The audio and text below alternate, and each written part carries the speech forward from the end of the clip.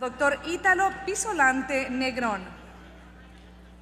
Él es venezolano, ingeniero civil, con máster en comunicación política de la Universidad Autónoma de Barcelona y doctorado en comunicación organizacional en la Universidad Jaume I Castelló, ambos en España, donde también cursó el programa avanzado de dirección en responsabilidad corporativa en el Instituto Empresa.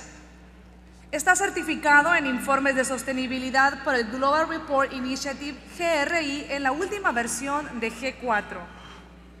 Con 40 años de experiencia en el área de estrategia y comunicación empresarial, pública y privada, es socio fundador de la firma Pisolante desde 1976, firma internacional de consultoría en estrategia y comunicación empresarial que cuenta con un prestigioso portafolio de clientes multinacionales, locales y globales.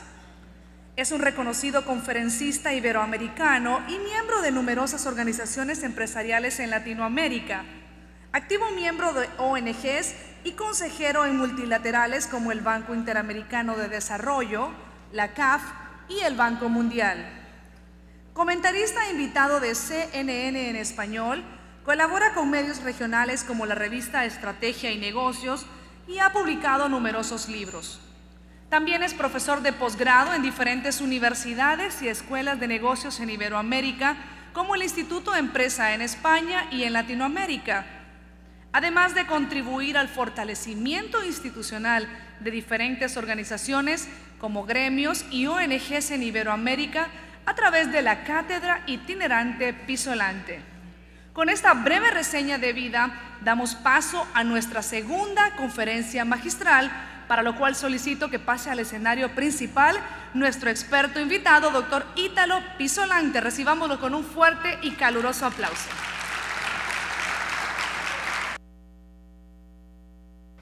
Con una presentación como la que me haces, entiendes por qué cuando uno le dicen, vas a venir, bueno, pero claro que voy a venir, ¿cuándo y dónde? Fue lo que le dije a Roberto cuando me llamó me habló de este evento y me describió lo que iba a suceder aquí, pero te quedaste cortico, Roberto. Esto es más grande que lo que me dijiste, la cosa es más difícil. Hay tres veces la gente que me imaginé. Lo felicito. Realmente para mí es un privilegio hoy compartir una reflexión. Ver además tantos amigos de tantos lugares del mundo, del mundo de, la, de aquellos que entendemos a la responsabilidad social, empresarial y al comportamiento responsable como una tarea de vida, como un proyecto que nos convierte a todos y cada uno de nosotros en lo que yo he llamado evangelizadores corporativos. Vamos a contar nuestra historia a todo aquel que quiere escucharla y a sembrar valores que nos hagan entender nuestros comportamientos y los nuevos significados de ellos. Eso va a orientar justamente el título de lo que para mí significa la agenda única cuando Roberto y su equipo me comentó de la visión que tenían de convertirse para el año 2016. Esa agenda única le puse el nombre de lo único como agenda es aceptar el desafío de que son nuestras actuaciones las que modelan e influyen en el comportamiento de los demás. Y ese desafío, justamente en una agenda, tiene antecedentes. Estábamos tratando de retar a nuestra memoria y todas esas imágenes que ven son las primeras ah, láminas de veces que tuve el privilegio de venir aquí, a Honduras, y en algunos de esos viajes a San Pedro Sula. Y ah, decían antes que esto, ah, la organización tenía 10 años y, empecé a sacar cuentas, creo que vine cuando estaban haciendo. Es decir, hace algunos años tuve el privilegio pues, de acompañarles. En síntesis, ¿Cuál es la propuesta de valor para los próximos minutos? Quiero centrarme en cuatro aspectos específicos. Uno es, estamos viviendo una resignificación de temas sociales. Creemos que estamos haciendo cosas nuevas, pero lo verdaderamente novedoso es que aquellas cosas que hacíamos hoy tienen otros significados, porque nuestras actuaciones algunas no habiendo cambiado en lo positivo o incluso en lo negativo, tienen lecturas distintas. Si esa resignificación, esa lectura distinta en lo social, se convierte en una amenaza o una oportunidad para la empresa, entonces, ¿cómo voy a fortalecerme de manera sostenible para lograr los objetivos de largo plazo prioritarios de la empresa, que es cumplir con su plan de negocio? Y si esa resignificación me obliga a un fortalecimiento, no va a ser sostenible si no reinterpreto el rol que le corresponde a la empresa frente a la sociedad. Y entendamos entonces la resignificación para fortalecernos siempre y cuando nos resignifiquemos nosotros mismos, es decir, nos reinterpretemos en los roles. Y eso lo podemos hacer si compartimos un modelo de actuación. Y ese es fundamentalmente el eje de la reflexión. Si nos centramos en la primera, esa resignificación de lo social, que nace de lo que otros dicen, yo les pido, descríbanme rápidamente, en los pocos minutos que tengo, ¿qué están viendo? ¿Qué ven? Ups, ¿qué ven? Sí, un señor intelectual, solo. Mírenlo fijamente. ¿Y qué pasa si lo que están viendo es fundamentalmente el reflejo de lo que alguien en sus manos quieres que vea? En el mundo de las percepciones, nuestras actuaciones pasan por filtros. No es lo que es, es lo que percibes que es. Y lo que percibes es tu realidad. Entonces, cuando construimos, cuando actuamos, suceden cosas como en esa foto de ese señor que ustedes vieron como intelectual. Aquí en esa fotografía dice abajo en chiquito un número, el 63444. Y una le dice a la otra es, es que él siempre fue un hombre de números. Sí, los números que lo llevaron a los escándalos corporativos que ustedes ven. Las percepciones de esos que ganan premios de reputación son los primeros en responsabilidad social empresarial y hoy están en las páginas juzgados por sus comportamientos que no eran exactamente consistentes ni coherentes con lo que ellos intentaron. Mi queridísimo y admirado amigo Bernardo lo dijo esta mañana en su fina palabra y es las incoherencias, las inconsistencias que rompen la credibilidad de los que hacen lo que deben hacer, pero que no lo comunican lo suficiente como para que yo pueda apoyar y diferenciar. Pero es que los escándalos están todos los días, todo el tiempo, sin hablar del el más notorio para nosotros, que todo lo que sucede en bueno y en malo dentro de los papeles de Panamá. Porque además, no todo lo que está allí está mal, pero ¿quién se la cree? Esa complejidad tiene que ver en la práctica entonces con 11.5 millones de papeles que están dando vueltas y que lo único que tienen equilibrio es pensar en eso de compliance o las oficinas de cumplimiento o como en el humor norteamericano un aviso antes de entrar a la oficina de compliance es este que están viendo donde dice es tome un número por favor y es justamente lo que si lo sacas explota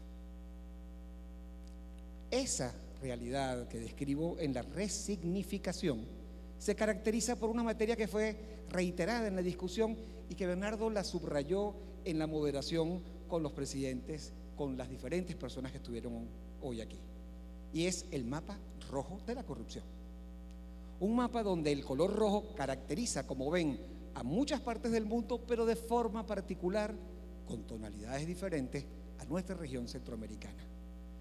Si eso lo ves específicamente en temas vinculados a cómo está cada quien en la foto, verán con una tonalidad un poco más clara a Costa Rica, verán con otras mucho más oscuras el gran desafío que tiene Honduras y el tema de combatir la corrupción.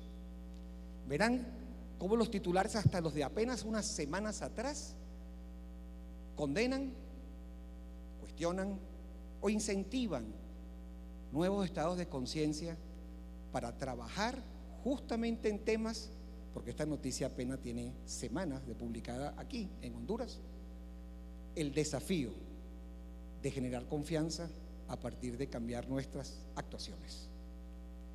Entonces, ¿cuáles son los significados de esta falta de transparencia?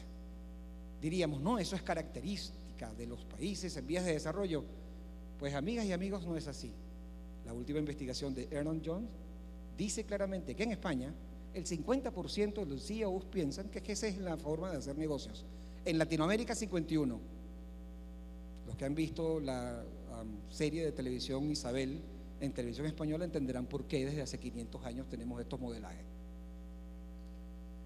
Eso debería ser suficiente para entender que el desafío para, hacer, para que se lean nuestras actuaciones de manera transparente tiene que ver con algo que pasó, que es nuevo y que Google me ayudó a responderlo. Hice un juego que tuve que cambiar las escalas, poniendo palabras para saber cuáles son las palabras que tienen más recurrencia puestas en Google. Puse bienestar, puse confianza, puse responsabilidad, pero cuando puse esta, cambié la escala. La expresión que me hizo cambiar la escala es derechos. Y el ejercicio del derecho es lo que ha cambiado completamente el esquema de cosas que hacíamos y de nuevas lecturas, es decir, significados que tienen esas actuaciones hoy. Los niveles de tolerancia más bajos, porque en este esquema, las noticias que se están dando y la discusión en la agenda colectiva del mundo de la empresa, de los CEOs en Davos, en Suiza, hace unos meses, todas giraban alrededor, además de los objetivos del milenio, de los problemas de inequidad. Otro tema que correctamente en la magistral introducción de mi querido Bernardo también citó. Les decía en nuestros conversarios, en nuestras conversaciones de pasillo, le decía, verás las consistencias de pensamiento. Y en su humildad característica se me quedaba mirando y yo le decía, es que la coherencia no es casual, porque la coherencia no es casual cuando se aprende a pensar en la misma dirección. Y el desafío de nosotros es pensar y tener valores comunes que hagan que este tema de la lectura de lo social lo veamos desde perspectivas diferentes. La responsabilidad social empresarial tiene más de económico que de social. La competitividad tiene más de social que de económico. Y eso lo expresa los indicadores de progreso social recientemente publicados hace apenas unos días del año 2016. ¿En dónde salimos con buena nota? ¿Y en dónde? Con mala nota. Solo para pensar lo más complejo de la mala nota que está en rojo son los temas de la inequidad. Difícil, lo decía Stanley en la mañana, es poder esperar éxito en una empresa, en una sociedad que no he ayudado a que tenga éxito. Porque no tengo posibilidad de hacer negocios cuando no estimulo en el entorno las condiciones para que ese negocio se dé en el largo plazo. Ahí están los números, lástima que las pantallas chicas no me permitan que lo vean allá atrás, pero verán que hay una inequidad muy grande en índices de progreso social, pero como es un tema fascinante que requeriría mucho más del que tengo hoy de tiempo, googleen, métanse y vean dónde está Honduras. Grandes áreas de oportunidad junto con Guatemala, e inmensamente también grandes como las hay en Venezuela. Ya no es el Producto Interno, el bruto, el que puede ser una herramienta para entender el bienestar. Son otras las variables y el índice de progreso social que entre otras cosas Porter iniciaba y con el INCAE en muchos trabajos lo inicia. ¿Qué hace esto? Está moviendo la agenda de las prioridades del mundo de la gerencia. Y por supuesto que resolver problemas complejos es de los primeros evidentemente, pero la creatividad salta de posiciones que para el año pasado estaba por debajo de 10 a ser prácticamente la tercera diciendo es sí, es que hay que ser creativo para manejarse en escenarios de resignificación de temas sociales. Y si lo ven en términos de la agenda de riesgo global de todas las multinacionales y empresas nacionales o multilatinas que asisten a estos eventos del Foro Económico Mundial, que acuerdan cuál es la agenda común de riesgo para que sus negocios prosperen, dos temas se convirtieron en cohetes rojos. Uno son los problemas derivados de la inmigración y el segundo es los problemas de la inequidad. Y eso que está básicamente en la presentación anterior a mucho de lo que vieron en primeras planas de los medios en los últimos meses, porque esto es del mes de febrero, es lo que se convirtió finalmente en lo que leyeron en la prensa con las decisiones del Brexit. Cuando ustedes ven cómo la inequidad y la percepción de muchos temas sociales genera cambios políticos importantes. Los cambios políticos son consecuencia de demandas sociales insatisfechas. En consecuencia, si eso es así, la complejidad de estas primeras planas históricas, en mi opinión algunas de ellas perversas, como que el día de la independencia, por Dios. Pero cuando eso sucedió y se votó de esta manera en una noticia que impacta a todos, y pregúntenselo si no a los que tienen inversiones de maquila aquí, ¿qué significa cambios en la economía global? El impacto de esto, después de redes sociales, entendiendo que no era nada novedoso y que se veía venir, fue, ¿y cómo vamos a manejar esa complejidad?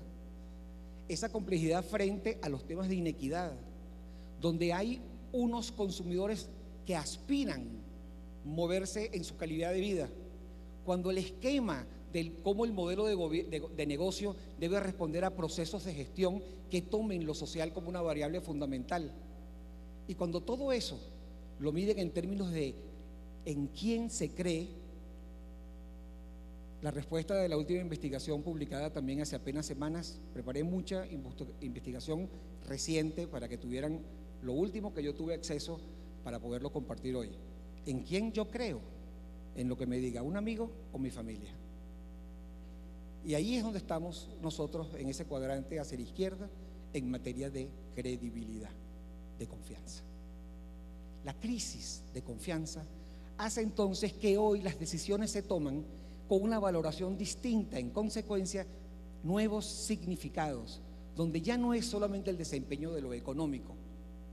Y lo digo y lo subrayo, porque aun cuando es un tema obvio, quiero recordarle a mis amigas y a mis amigos que obvio viene de obviar, es decir, que se me olvida.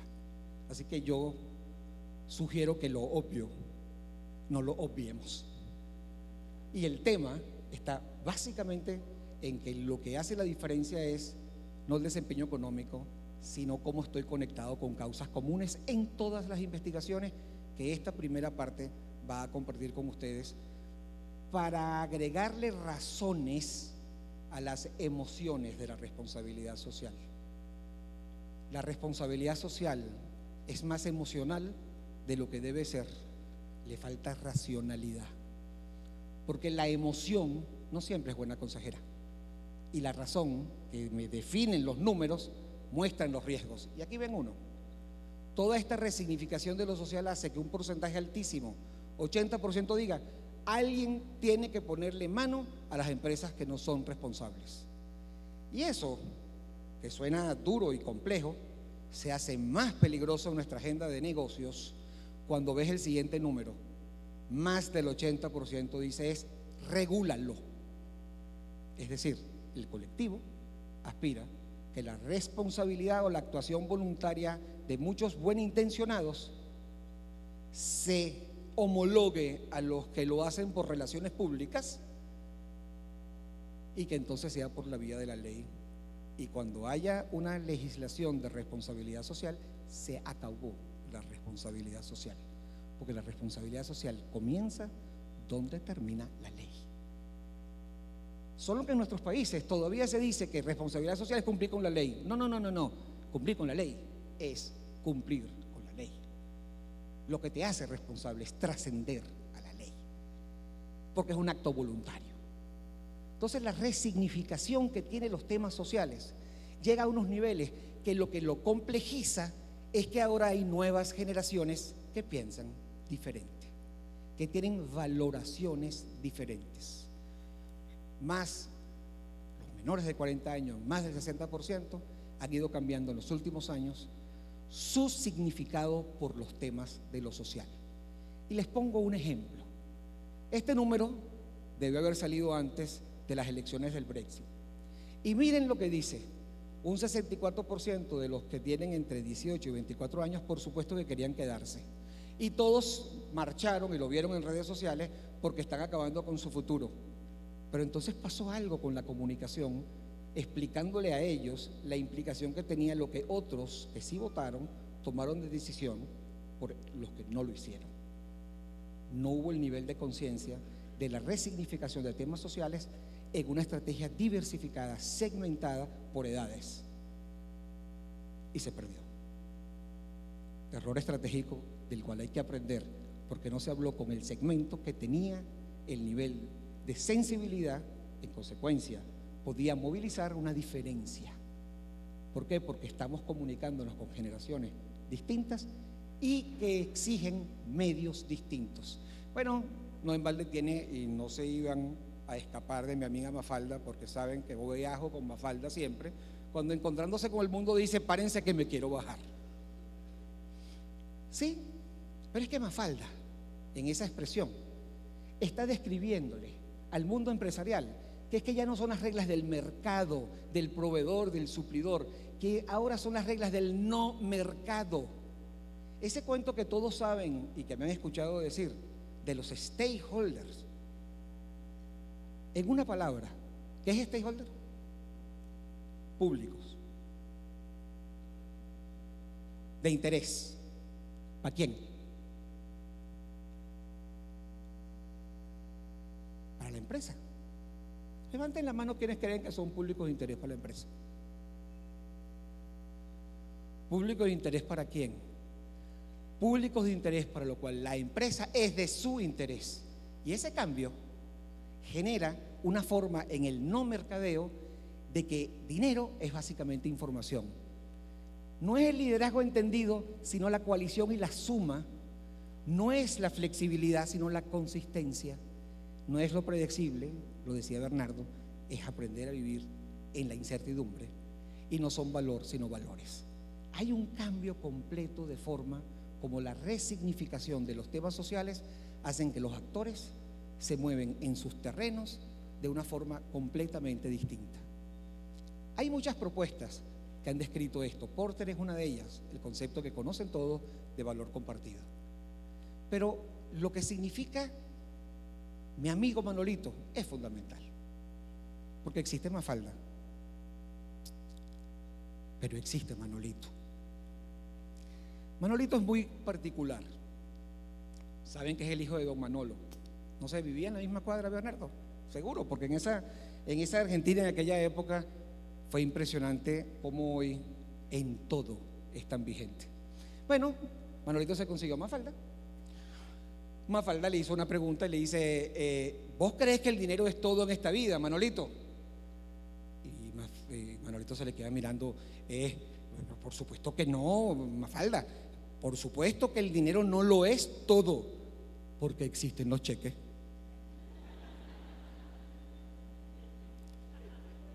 Mi amigo Manolito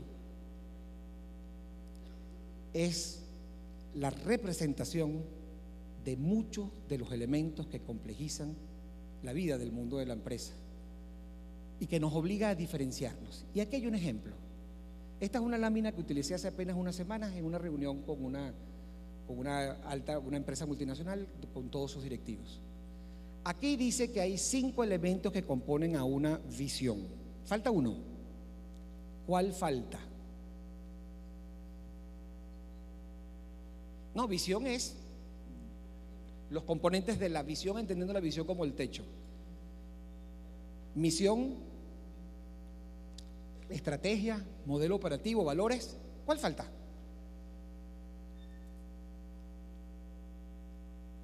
Señores, propósito. Lo escucharon esta mañana. Pero eso suena porque lo escucharon esta mañana de diferentes, incluso Luis Javier iba a decirlo, pero los tiempos no lo permitió. No es algo nuevo, hay una resignificación y todas las investigaciones que hice para traer a ustedes elementos objetivos, esta es muy reciente de Price House, habla de cómo los CEOs reunidos se han dado cuenta que los temas no financieros deben ser comunicados porque están comunicando un atributo que conecta con el consumidor y con sus recursos humanos. eso que llaman propósito. Es decir, porque yo voy a trabajar todos los días. Eso no se, se, decide y se, se escribe a solas. Se interpreta a partir de una demanda que es social de mi gente, de mis clientes, de mis públicos. Y en estas investigaciones, con números muy claros del por qué el tema del, propósito es importante, si lo llevas a los millennials, lo es tanto que un 77% del millennials dice que una de las razones por las que toma la decisión de estar en una empresa o querer estar en una empresa es por el propósito que él interpreta o ella interpreta de la empresa. Ese elemento se complejiza en esta lámina. Se las voy a leer hacia atrás porque no va a ser fácil por las letras chicas. Si ven a la izquierda, es una investigación reciente de Deloitte donde pregunta, ¿usted cree que es importante el bienestar? Y lo responden los jefes, el liderazgo de la empresa. Y ellos dicen, sí, sí, es importante. Pero se lo preguntan a los millennials. Y ellos duplican la respuesta, claro que es importante. Ahora véanse a la otra esquina, a la derecha. ¿Usted cree que es importante las recompensas, los bonos importantes, el tema del dinero que te voy a dar? ¿Qué dicen los líderes? Claro que es importante. ¿Qué dicen los millennials? Bueno, sí, menos de la mitad. ¿Qué son? Bobos. No, no son bobos, son diferentes. Tienen valoración de las cosas distintas y se conectan de forma distinta. Este cambio de cómo manejarse con una nueva generación que va a tener más del 50% de la fuerza laboral en los próximos años, cambia la manera, pero no es nuevo. 42% desde el principio del año 2000 de la población estaba diciendo, a precios iguales y calidad iguales, ¿por quién decides comprar el producto? Por aquellas que tengan propósito social y lo perciban. Entonces, la responsabilidad social es más económica que social, porque la puedes monetizar, la puedes materializar y ver el impacto de dejar de hacer. Números, no emociones, razones. 2016, semanas atrás, Pricewaterhouse.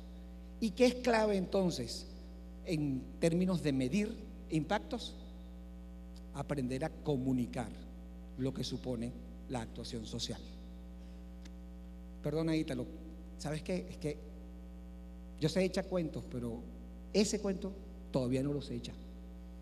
No sabemos narrar las historias con impacto social pero no aquellas con musiquita, con video y con foto bonita, un niñito tierno y una cara solidaria. No, straight o sea, directo a lo que es mi misión de empresa.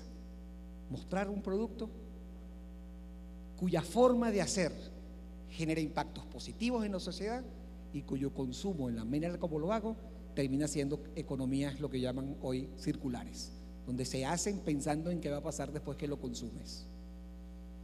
Esta realidad que los números me dicen, básicamente complejizan, porque es que resulta que las generaciones se comunican distintas en esta resignificación de lo social. Cuando mi hija me escribe un WhatsApp, su papá la llama por teléfono. Y su hija, mi hija, me dice, papá, ¿para qué me llamas? Escríbeme porque ellos no usan el teléfono. Nosotros usamos el teléfono. Y vean lo peor, este número, porque además están, cambiando los medios, que el país y los grandes periódicos españoles han perdido por encima del 10% de lectores solo en un año.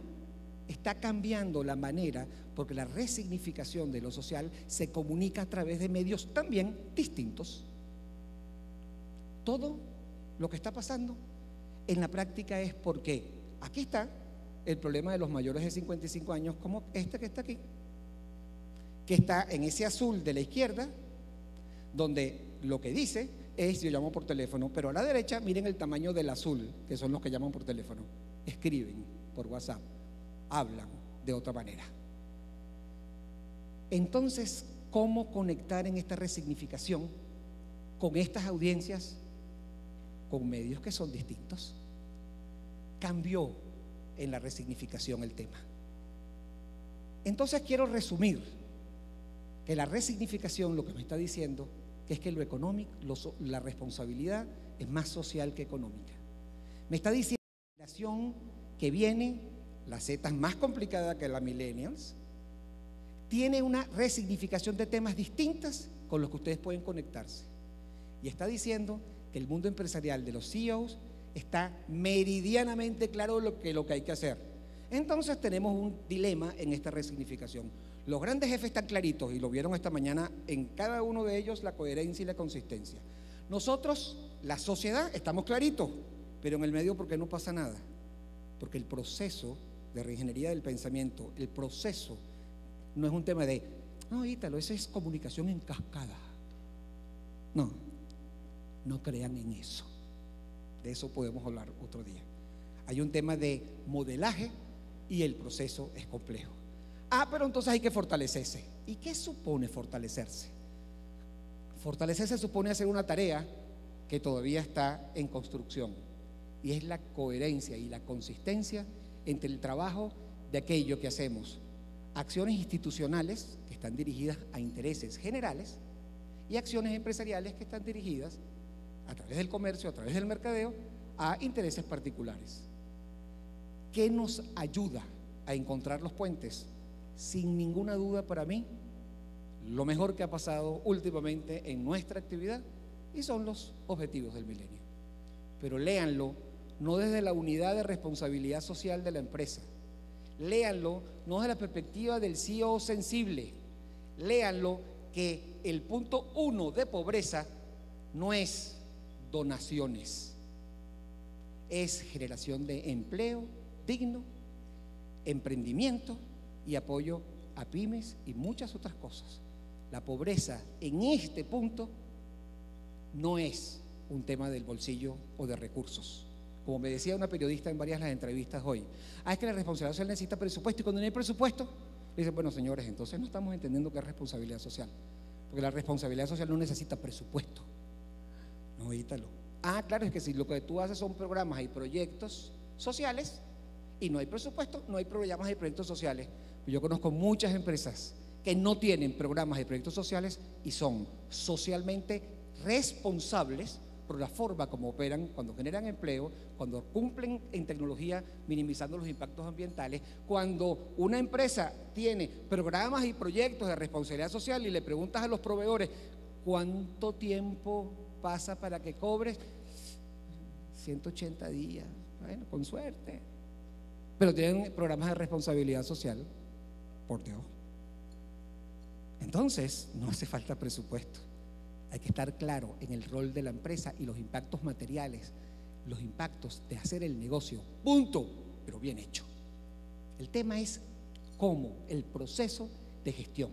Entonces, eso tiene que ver con encontrar el puente entre la actuación empresarial y la actuación institucional, porque solo es sostenible el fortalecimiento si le suma al impacto de lo económico, lo social, y al impacto de lo social, lo económico.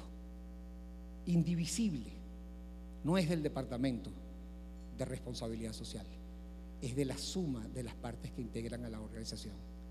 Entonces, cuando llegamos a esta convicción en el fortalecimiento, decimos, ay, ya yo entendí, es que vamos a hacer y vamos a hacer, y yo creo que tenemos que hacer más cosas nuevas, es que siempre hemos hecho cosas iguales. No, no, no, no, no, chicas y chicos, no se vuelven locos. Descubrir o redescubrir lo que has hecho antes de construir lo que te haga falta. Son miles las historias que ustedes tienen revisando hacia atrás, que son socialmente responsables pero que no tenían la resignificación de lo social que tienen hoy. Entonces ponle mano a la documentación de tus historias.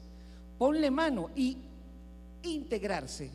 Y lo digo porque además soy un fiel creyente y propagandista, propagandista obsesivo de la muy afortunada idea que es única mundialmente, donde Centroamérica acordó en un tema compartir visiones y celebro integrarse por eso. Y casi lo asemejo a cuando arrancó la Comunidad Económica Europea. Es decir, integrarse y además los indicadores de indicarse son una herramienta y lástima que el tiempo no me lo permite, para decirle que no estamos sacándole el provecho. Y con mi amiga Teresa en Panamá estoy en, una, en un globo de ensayo y esa expresión la digo respetuosamente, pero probando cómo se pueden hacer dinámicas diferentes utilizando los indicadores. Vamos a ver qué pasa y, seguiremos viendo eh, ese proceso en los próximos meses, Teresa, y lo compartiré, Dios quiera, en algún ah, evento de la red. ¿Por qué el fortalecimiento es importante cuando se entiende que suma a lo institucional, lo empresarial? Bueno, porque ¿con quién hablamos ahora? No es casual este número que ven, el rojo es básicamente la República Dominicana, el azul, porque es hecho en la República, lo hizo eh, el Latino Barómetro, pero lo que ven en azul es Latinoamérica. No es casual que la iglesia es con quien ahora uno quiere comunicarse y vincularse más. Se encargó nuestro, nuestro común amigo, cuya legitimidad de la descripción que hace del Papa, la honra es ser judío. Porque esa parte no la dijiste, porque no es lo mismo que lo diga un católico, apostólico, romano como yo, a que lo diga un judío como tú. Sí, y tienes razón. Nos ha cambiado la perspectiva, Bernardo. Es decir, entonces, todo esto, ¿cómo se vincula con fortalecimiento? Es con quién hago alianzas, con aquellas que generan la percepción de legitimidad en la resignificación por los temas de lo social. Aquí está saliendo, por cierto, muy bien parado mis amigos de Ficosa la banca, porque se ha empezado a poner pilas, porque ha entendido mucho de lo bonito que contaron aquí, pero de lo profundo cultural que han descrito en lo que dejaron de decir, pero que está que le están. Es decir, con, ese es el, el con quién lo voy a hacer. ¿Y cómo lo voy a hacer? ¿Con qué medios? Ya lo dije, cambió la dinámica. Las generaciones tienen otras formas para comunicarse. Entonces, fortalecerte supone no solo el medio, entendiendo los cambios generacionales con los números objetivos que les compartí, sino que la forma de hacer negocio ahora son economías colaborativas. Una señora que hacía cinco platos, platos para hijos y la pareja, pero ahora hace diez platos porque cinco los puso en internet para el que se lo lleve para el trabajo. Economía colaborativa, no tiene empleados. Simplemente por economías de escala le sale más económico que en un restaurante. Y esos cinco platos le redondean un presupuesto para otras cosas. Economía colaborativa. O me voy a la playa, somos dos, cabemos seis en el carro, lo pongo en internet y cuatro dicen, ah, yo voy a la misma playa. Muy bien, te cuesta esto. Gasolina más la cerveza que nos vamos a tomar. Y todo el mundo happy. Economía colaborativa. Cambió el negocio. Yo voy a la playa, pero no voy este fin de semana. Lo pongo, o como un amigo mío que es todavía peor, lo pone en internet, alquila ese fin de semana y cuando no tiene mucho aquí, se va a vivir a casa de un amigo y alquila la casa dos semanas. Economía colaborativa. Cambió el modelo, porque la resignificación por lo social está haciendo que los negocios sean distintos. Hoy existen bolsas, pero sociales. Hoy existen, Luis Javier es uno de los pioneros de estos temas, inversiones con impacto. Hoy el lenguaje del fortalecimiento de la empresa tiene un alto componente social. ¿Por qué? Porque allí están las oportunidades. Entonces, por favor, no digan que la responsabilidad social empresarial es social. La responsabilidad social económica es un hecho económico, social. La responsabilidad social empresarial tiene más de económico que de social. Es decir, toda esta vinculación con audiencias tiene que ver con indicadores de cuál es la prioridad. En esta parte de fortalecimiento, sin exagerarme, quise ir un poco más a la metodología. Primero dije, defines el objetivo, entiende a tu audiencia. Eso es obvio, ¿verdad? Pero es tan obvio, tan obvio que lo veamos. Y las audiencias ahora tienen gustos y medios distintos. Dos, analiza cuál es tu, tu, tu mapa de stakeholders pero en el entendido de quiénes influencian y cómo influencian. Y ponte de acuerdo de cómo crees tú que eres percibido y figúrate cómo te gustaría ser percibido para que con esa matriz tú puedas definir a partir de tu agenda de riesgo un plan de negocio. No estoy hablando de planeación estratégica, estoy hablando de una estrategia de sostenibilidad para la empresa. Es decir, metodológicamente, cuando esto lo hacemos, yo les pregunto, y con honestidad levanten la mano, ¿quiénes de los que están aquí trabajan directamente un plan de responsabilidad social para su empresa, pública o privada, con fines o sin fines de lucro, eh, grande o chiquita, nacional o multinacional. Levanten la mano quienes, por favor, trabajan temas del plan de responsabilidad social. Levanten la mano. Hay como un 50, 60%. No, déjenla arriba. Quédense con la mano levantada solamente aquellos que conozcan la agenda de riesgos de las empresas donde trabajan. Ah, caray. Bajo a menos de 10%. ¿Y cómo hace un plan de responsabilidad social empresarial definiendo las acciones en una resignificación de lo social? Si no tienes la agenda de los riesgos del negocio para que puedas estar contigo, para empezar para que sigas trabajando en la empresa, no es que te voten por reducción de personal. Si nosotros no conocemos con detalle los temas vinculados a la agenda de riesgo y hacemos un análisis de materialidad en impacto, chicas y chicos, les sugiero, ¿cómo se llaman las farmacias famosas aquí en Honduras? Una farmacia. CIMAC. Ok, vayan a CIMAC y. Muy bueno, chiquitico, que se llama Ubicatex. Ubícate. Es decir, hay una forma para entender cuál es el riesgo en las empresas y cuáles son los programas. Indicarse ayuda a entenderlo. Y todos estos elementos que indicarse plantea les dice dónde están los nos o los sís que orientan sus actuaciones. Pero los programas de ambiente, de clima organizacional, también son un elemento fundamental que ayuda a esa tarea. Dentro de esa visión de lo que pasa en la empresa, el fortalecimiento se resume fundamentalmente en este modelo. La estrategia, su análisis de riesgo, sus matrices de audiencia, la existencia de los medios adecuados para lograr los objetivos, necesitan desarrollar una narrativa que conecte con el interés que tienen y la armonice con el interés del otro. Eso requiere mensajes.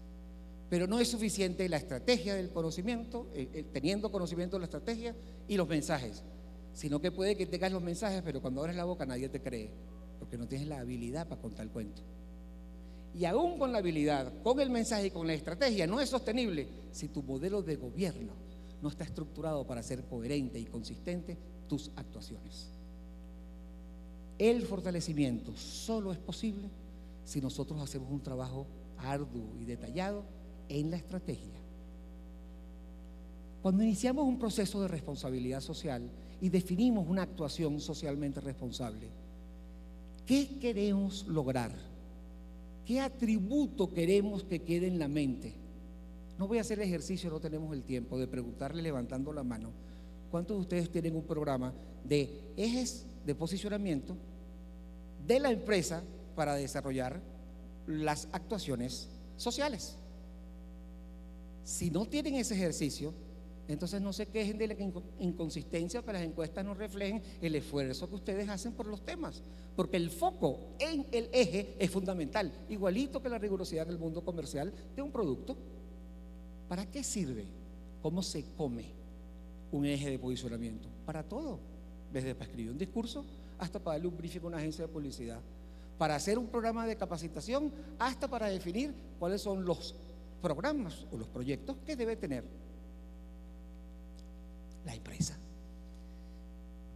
Metodológicamente en este fortalecimiento, y yendo muy rápido, todo este posicionamiento con un nombre figurativo, simplemente ese que está colocado allí, ¿qué hago ahora para fortalecerme?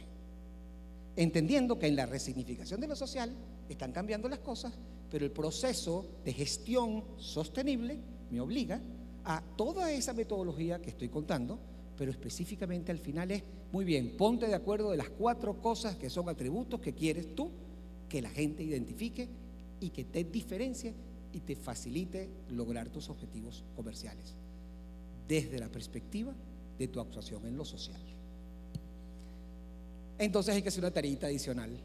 Eso que alguien dijo, yo quiero ser percibido como confiable.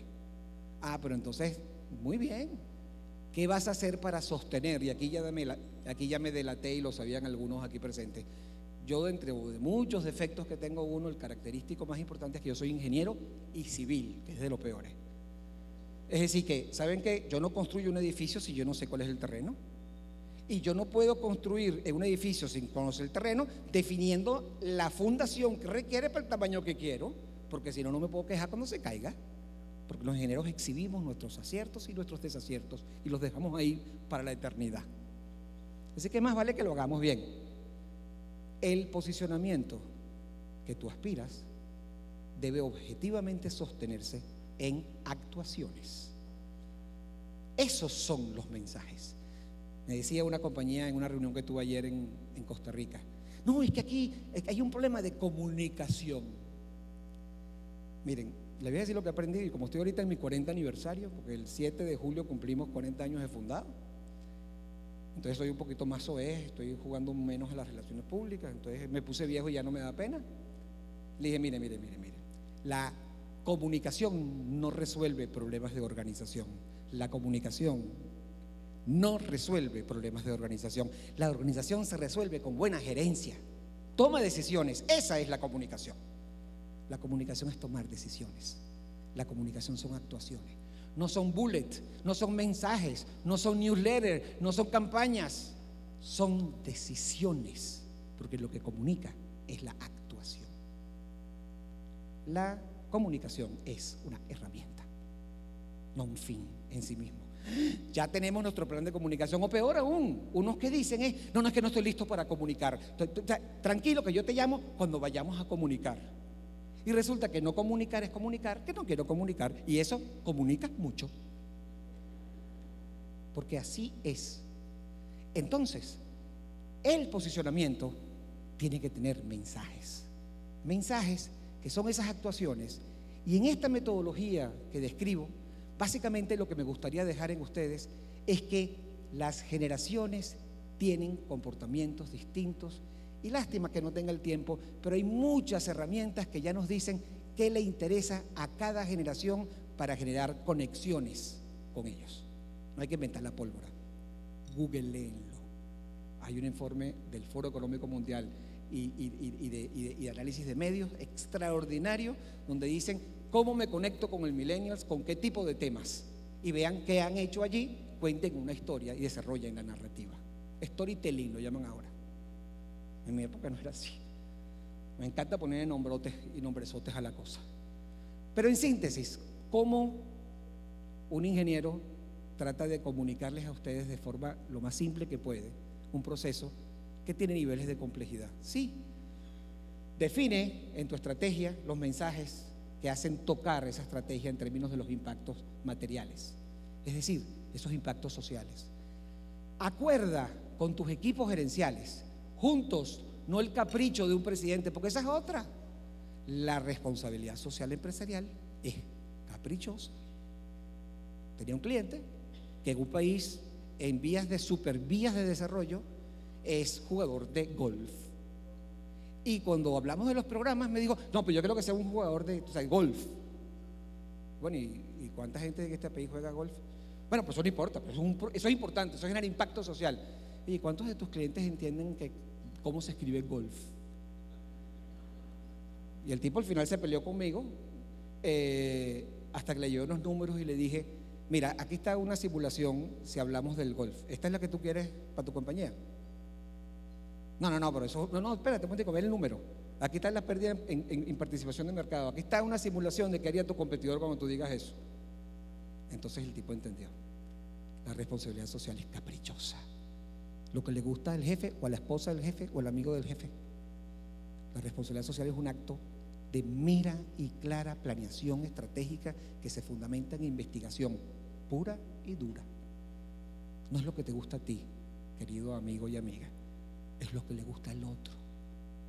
Porque la responsabilidad social es para generar la conexión, no contigo mismo, no resuelvas problemas de identidad con tu propia identidad, para ti con responsabilidad social. Responsabilidad social es para armonizar intereses, es para gestionar expectativas sociales. Eso tiene que ver con que entonces acuerda eso y define los mensajes. Toda esta actuación empresarial es para lo que sabemos hacer y hacerlo bien. Sí, crear valor. Pero yo tengo un reclamo. Nos esforzamos en crear valor, pero no capturamos el valor. Y la, la creación de valor social solo se captura cuando se convierte en confianza para el largo plazo de la empresa y la atracción del recurso humano y el compromiso de esos millennials que a los tres años dicen, ya me fastidié esta empresa y ya más de tres años una empresa, yo soy un fracasado. Entonces ya estás pensando para dónde vas. ¿Qué hace que se quede esa fuerza laboral que la necesitamos en las empresas? Otros valores que debemos explorar. El esquema cambia y ese fortalecimiento institucional fortalece a la empresa si entendemos los nuevos significados. Y ya por último, dentro del proceso es, quise simplificar. Resignificación en términos de que lo que hacemos tiene hoy nuevos contextos, generacionalmente y con medios distintos. Fortalecimiento, porque tengo que conectar lo empresarial, obvio, con lo social, pero no siempre lo hago. Y hay metodología para ello. Y ese fortalecimiento requiere una, una reinterpretación de la empresa y hay metodología para ello. Cómo defino el posicionamiento, cómo defino el mensaje. Pero tienes que tener un modelo de actuación. Y ese modelo debe estar dirigido a construir confianza. Un modelo que toca la estrategia, el mensaje, la habilidad y básicamente el governance. Si yo tuviera que resumir sobre el resumen, la palabra más importante que quisiera dejar en ustedes es ojo con el modelo de gobierno o la forma como se están organizando para ser sostenible esa actuación socialmente responsable. Lo fundamental es eso. En algunas empresas lo llaman inclusive temas de comités, de hasta comités de sostenibilidad. No, yo no le pongo etiquetas, puede ser el mismo junta directiva, puede llamarse comité ejecutivo, el tema es la agenda que busque, uno, alinear pensamiento para ser coherentes, direccionar a la empresa para lograr nuestros objetivos. Y ellas dos son solo posibles si yo nivelo la información para tener estados de conciencia comunes en los equipos directivos. El trabajo en la práctica es entonces nivelar para ser coherente, alinear para ser consistente y direccionar para lograr los objetivos que nos proponemos. Esa visión de modelo tiene que ver con cómo toco, nos conseguimos, mi amigo Bernardo y yo, hace unos meses y hace unos años, en el Banco Popular en, la República Dominicana, cuando estaba dibujando para ellos el modelo de actuación que buscaba como lo institucional, donde se insertaba lo social, generaba impactos de entorno, pero que la actuación empresarial y sus productos también que generaban el, impacto pudiéramos desarrollar una forma en que se alineasen los trabajos y esa resignificación o, o cómo se interpretaba la empresa, generar impactos de un lado al otro y del otro lado a uno. Y eso, señores, se dice fácil, pero es un proceso cultural que nos llevó años para las tres cositas que dije. Nivelar información, alinear pensamiento y direccionar estratégicamente a la empresa. Governance es un elemento fundamental dentro de un modelo de actuación para que sea sostenible.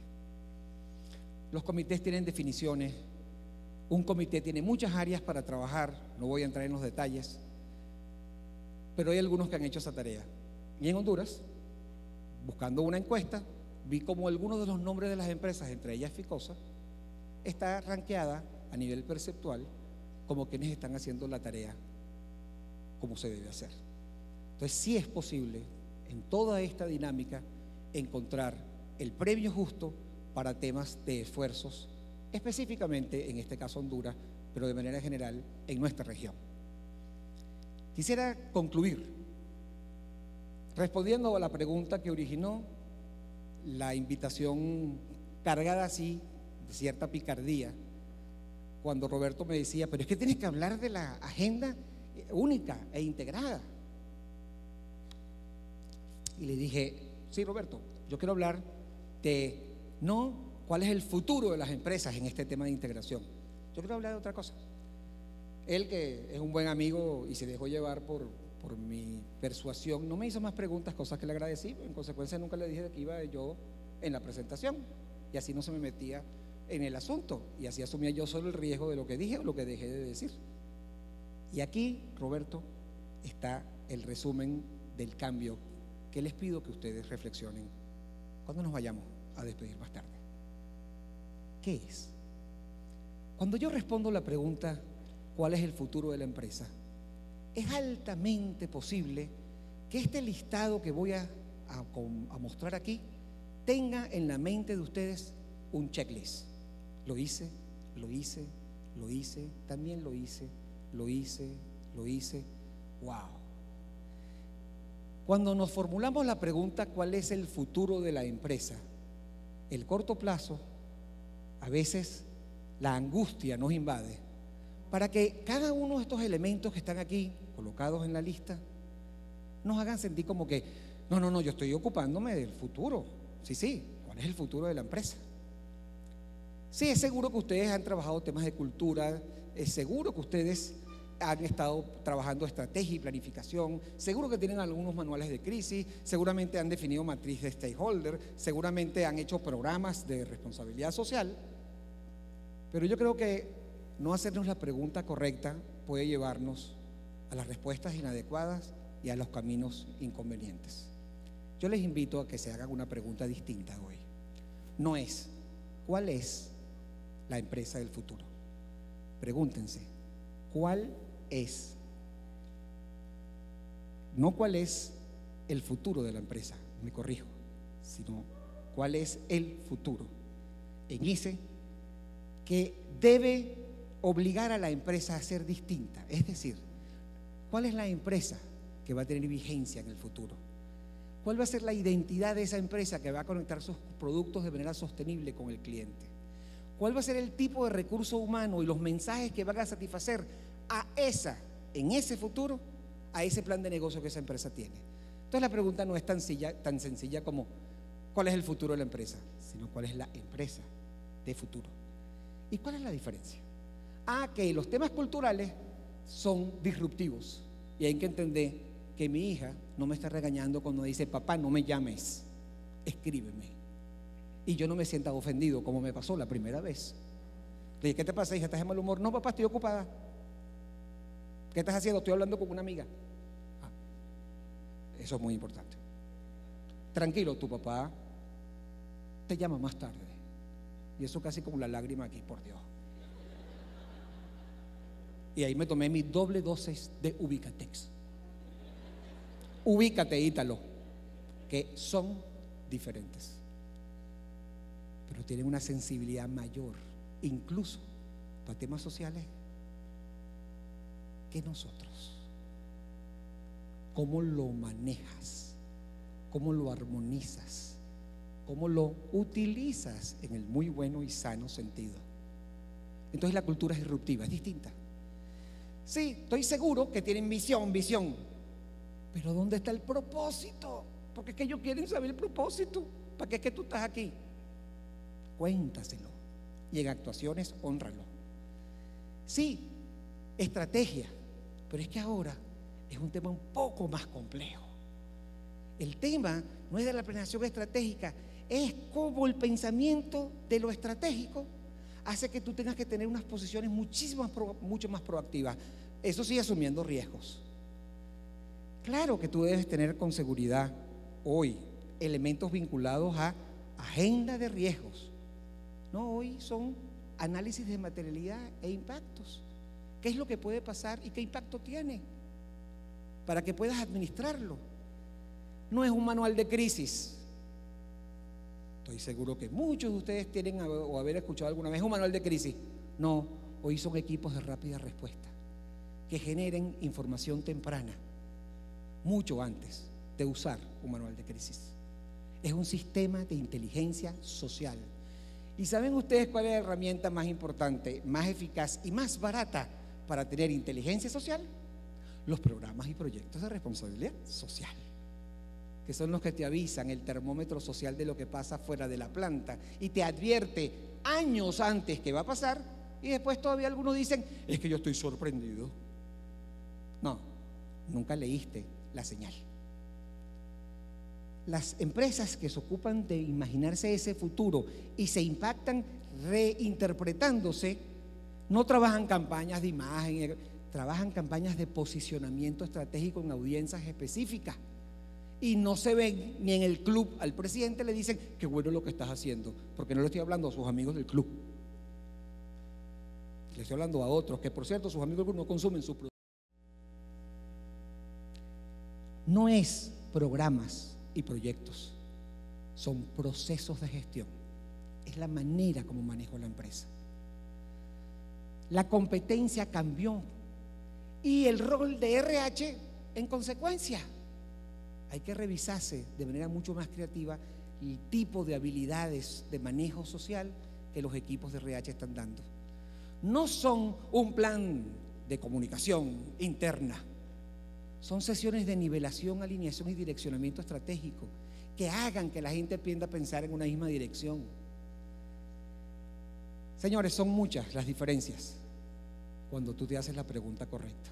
La pregunta no es cuál es el futuro de la empresa. La pregunta es cuál es la empresa de futuro. Y esa empresa de futuro no gestiona programas y proyectos. Gerencia procesos. Y esa es la diferencia que nosotros tenemos que llevarnos cuando revisamos la estrategia y definimos los mensajes y por supuesto reinterpretamos nuestro rol de empresa y buscamos un modelo de actuación para ser responsable. Es una historia simple, pero compleja.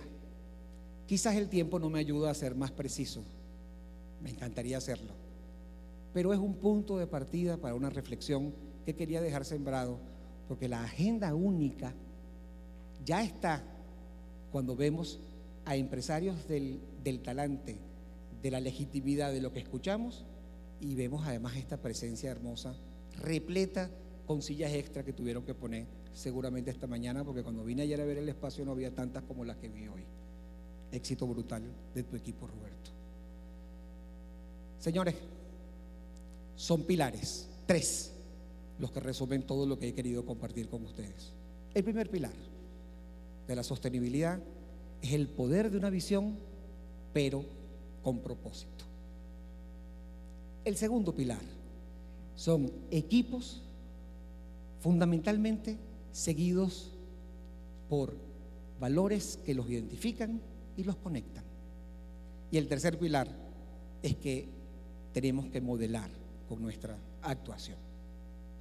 Tres que resumen esta resignificación de la sostenibilidad, pero que les invita, amigas y amigos, a una reinterpretación de lo empresarial. Muchas gracias.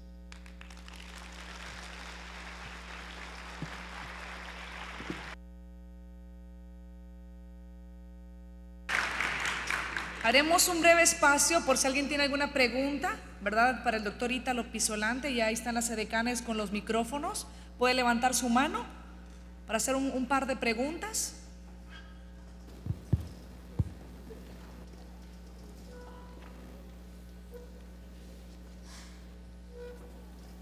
Mucho, Sí. mucho que pensar. ¿Saben qué? Atrévanse a modelar. Y ese es el desafío. Pero modelar supone que acepten que van a correr riesgos. Los invito a que corran riesgos para atreverse a modelar. Señores, gracias.